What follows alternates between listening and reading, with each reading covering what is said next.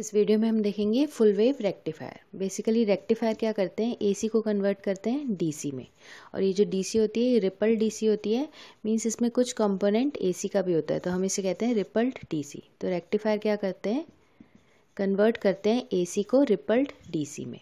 Last video में हमने देखा हाफ़ वेव रेक्टिफायर अब हाफ़ वेव रेक्टिफायर में क्या होता है? ये जैसे हमारे पास इनपुट सिग्नल है तो इनपुट की पॉजिटिव हाफ़ साइकिल के लिए हमें आउटपुट मिलता है.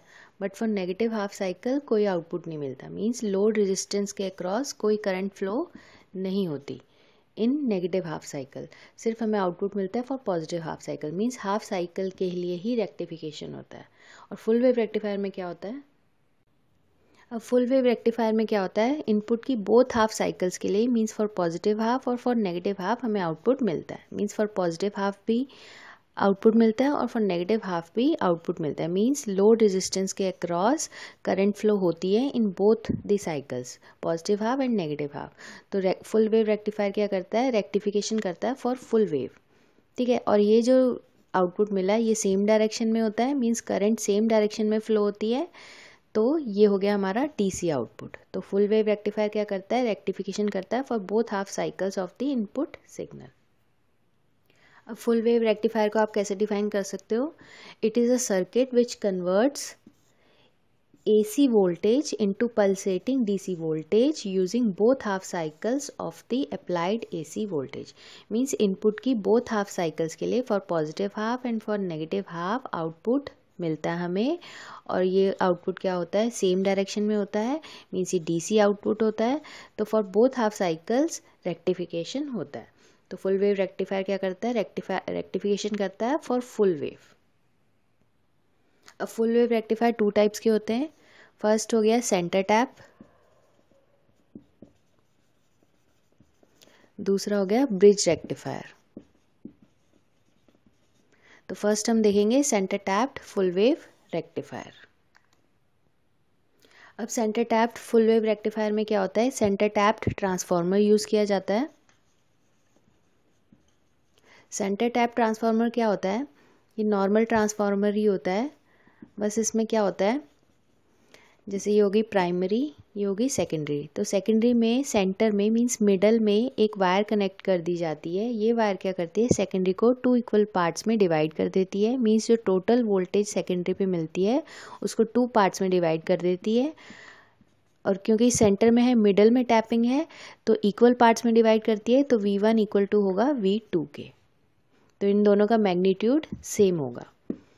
तो सेंटर टैप ट्रांसफार्मर में क्या होता है? सेकेंडरी को टू इक्वल पार्ट्स में डिवाइड कर दिया जाता है। सेंटर में टैपिंग दे दे दी जाती है, जिससे जो वोल्टेज होगी टोटल वोल्टेज वो टू इक्वल पार्ट्स में डिवाइड हो जाती है।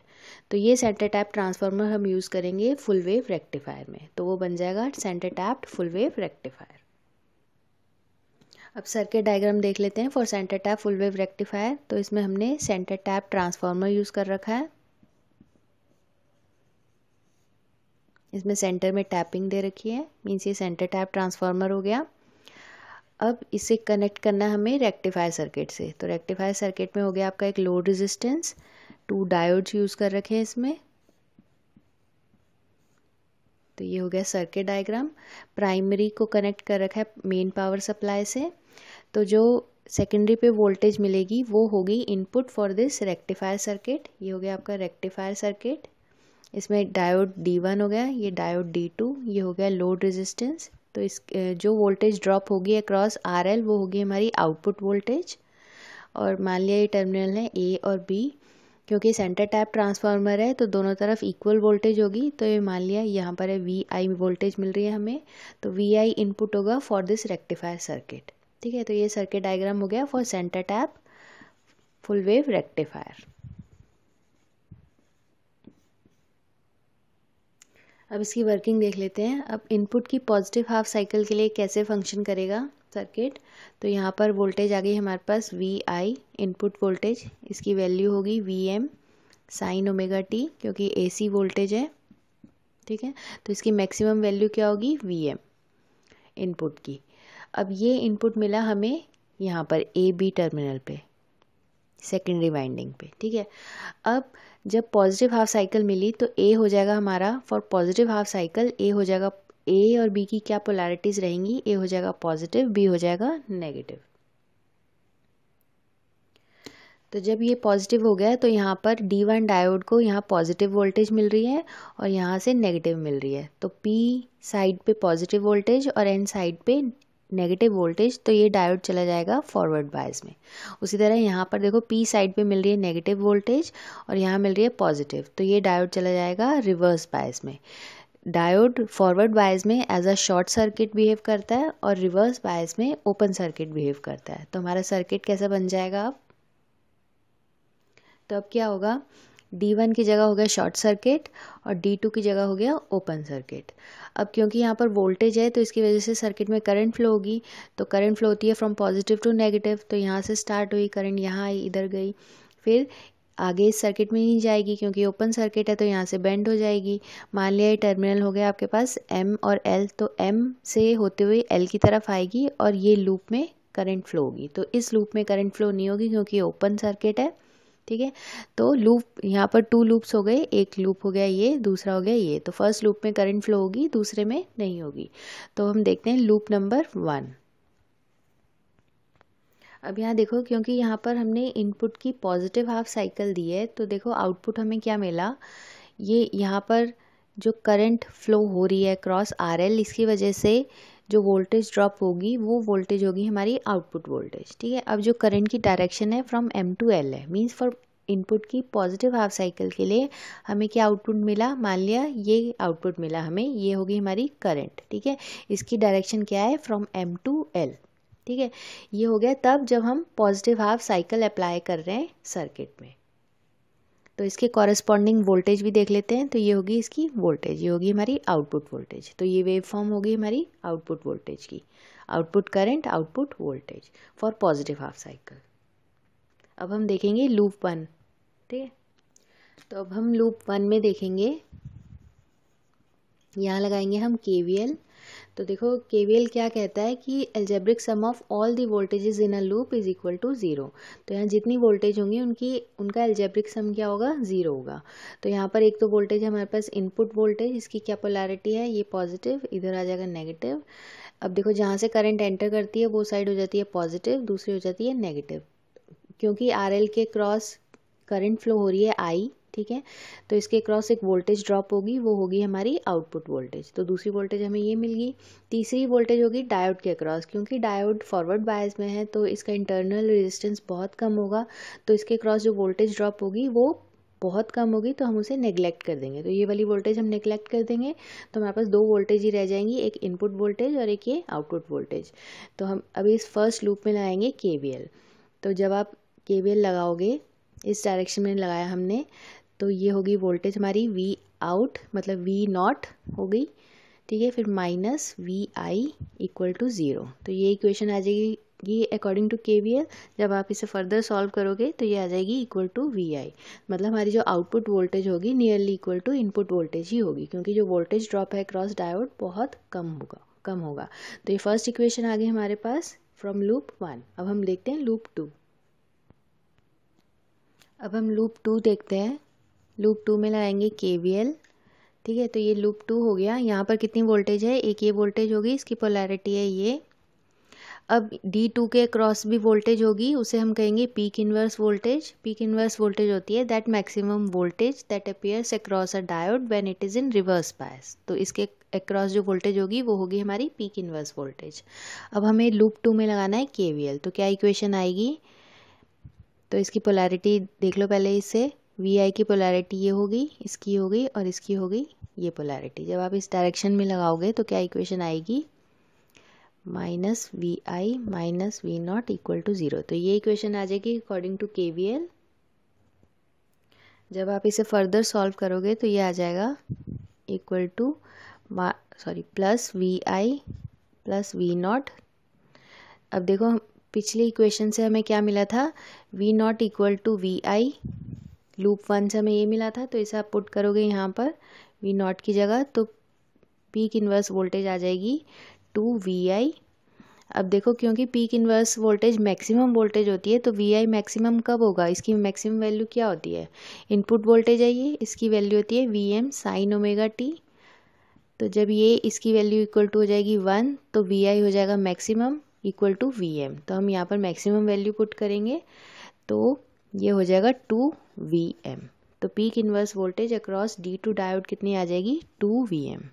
तो ये होगी peak inverse voltage across D two diode अब हम देखते हैं ये सर्किट कैसे वर्क करेगा in negative half of the input cycle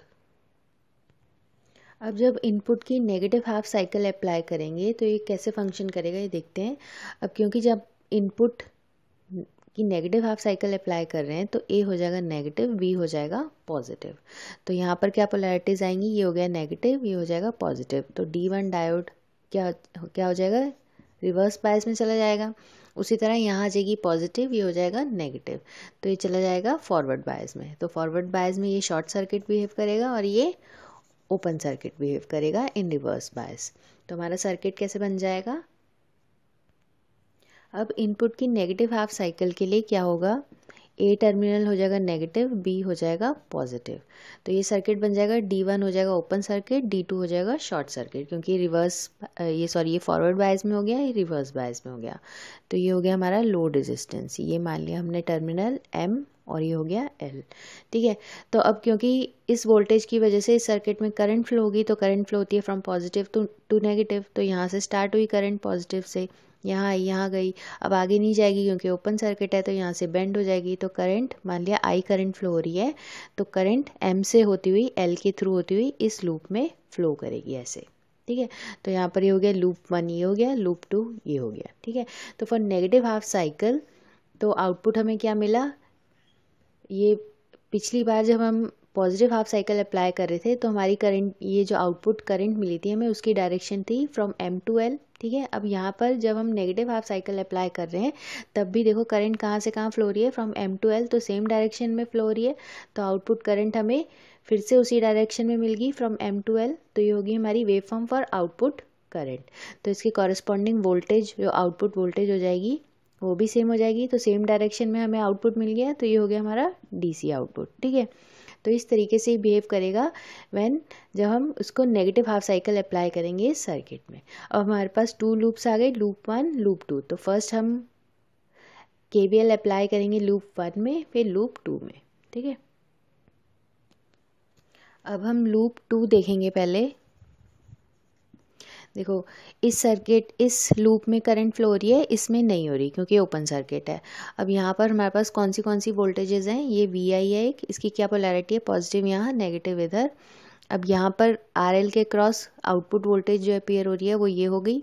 इसकी पोलैरिटी हो गई ये, जहाँ से करंट एंटर करती है, वो होगी पॉजिटिव दूसरी होगी नेगेटिव अब डी टू क्योंकि फॉरवर्ड बायस में है तो इसके क्रॉस जो रेजिस्टेंस है, बहुत कम है तो जो वोल्टेज ड्रॉप होगी इसके क्रॉस बहुत ही कम होगी तो हम उसे नेग्लेक्ट कर देंगे। तो यहाँ पर टू वोल्टेजेस आ गई। अब हम इसमें लूप टू में के लगाएँगे तो क्या इक्वेशन आएगी? V naught minus V I equal to zero ये इक्वेशन आ जाएगी। जब आप इसे फर्दर सॉल्व करोगे तो आउटपुट वोल्टेज आ जाएगी इक्वल टू वी आई तो फ़र्स्ट इक्वेशन मिल गई हमें लूप टू से। ठीक है? अब हम लूप वन सॉल्व करते हैं। अब लूप वन के लिए यहाँ पर देखो कितनी वोल्टेजेस हैं। एक तो हो गई ये वी आई इनपुट वोल्टेज इसकी क्या पोलैरिटी होगी? ये हो जाएगा पॉजिटिव यहाँ हो जाएगी नेगेटिव ठीक है? और डी वन के क्रॉस जो हमारी वोल्टेज होगी, वो होगी पीक इनवर्स वोल्टेज क्योंकि ये रिवर्स बायस में है तो इसके क्रॉस जो वोल्टेज होगी, वो पीक इनवर्स वोल्टेज होगी, ठीक है? तो इसकी क्या पोलैरिटी होगी? नेगेटिव पॉजिटिव और यहाँ पर ये वोल्टेज होगी एक हमारी आउटपुट वोल्टेज इसकी ये पोलैरिटी है। अब हम इस सर्किट में लगाएँगे। के तो जब आप के लगाओगे तो क्या इक्वेशन आएगी? V P I V peak inverse voltage minus V naught minus V I equal to zero तो ये इक्वेशन आ जाएगी। जब आप इसे सॉल्व करोगे तो ये हो जाएगा V naught plus V I हमने प्रीवियसली क्या निकाला था कि वी नॉट किसके इक्वल है? वी आई के इनपुट वोल्टेज वोल्टेज के इक्वल ही है। तो जब जब आप इसे पुट करोगे तो ये आ जाएगा टू वी आई तो पीक इन्वर्स वोल्टेज किसके इक्वल आ जाएगी? टू वी आई और क्योंकि peak inverse voltage maximum voltage होती है तो वी आई मैक्सिमम इसकी क्या वैल्यू होती है? मैक्सिमम वैल्यू वी एम होती है। तो जब आप इसे पुट करोगे तो ये आ जाएगी टू वी एम तो पीक इन्वर्स वोल्टेज आ जाएगी equal to two V M for D one diode when जब हम नेगेटिव हाफ़ साइकिल अप्लाई कर रहे हैं सर्किट में, ठीक है? तो इस तरीके से आप पीक इन्वर्स वोल्टेज निकाल लोगे डी वन डायोड के क्रॉस अब हमने क्या देखा कि फॉर पॉजिटिव हाफ़ साइकिल हमें क्या इनपुट में, क्या आउटपुट मिला? करंट फ्लो हुई, लो अक्रॉस लोड रेजिस्टेंस उसकी डायरेक्शन थी फ्रॉम एम टू एल ठीक है? फॉर नेगेटिव हाफ़ भी करंट फ्लो हुई अक्रॉस लोड रेजिस्टेंस तो उसकी भी सेम डायरेक्शन थी फ्रॉम एम टू एल तो सेम डायरेक्शन में करंट मिल गई तो ये हो गया हमारा डीसी आउटपुट ठीक है? तो फुल वेव रेक्टिफायर क्या करता है? रेक्टिफिकेशन करता है for both half cycles of the input signal अब हमने देखा centre tap full wave rectifier तो अब हम इसकी निकालते हैं एफिशिएंसी एफिशिएंसी होती है आउटपुट अपॉन इनपुट। तो आउटपुट हमें क्या मिल रहा है? डीसी आउटपुट और इनपुट क्या था? AC input. तो एफिशिएंसी क्या होगी? DC output upon AC input. तो एफिशिएंसी का फॉर्मूला क्या हो गया? DC output power upon AC input power. तो ये इसका फॉर्मूला हो गया। तो आप इसे कैसे डिफाइन कर सकते हो? The ratio of DC output power to the AC input power is the efficiency of a full wave rectifier और रेक्टिफायर तो फुल वेव रेक्टिफायर की एफिशिएंसी लगभग होती है 81.2 परसेंट और ये डबल होती है फ्रॉम हाफ़ वेव रेक्टिफायर तो full wave rectifier twice efficient होता है देन हाफ़ वेव रेक्टिफायर तो हमने क्या देखा?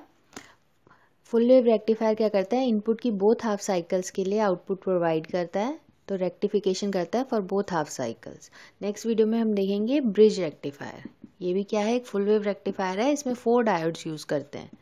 और सेंटर टैब में हमने कितने यूज़ करे थे? Two diodes thanks for watching